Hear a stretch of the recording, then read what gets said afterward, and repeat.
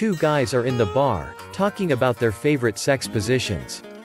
One says, I think I enjoy the rodeo position the best. I don't think I have ever heard of that one, says the other. What is it? Well, it's where you get your girl down on all four, and you mount her from behind.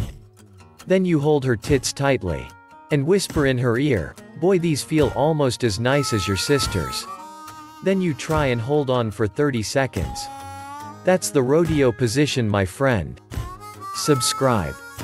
We have more dirty, stupid, wacky jokes for you.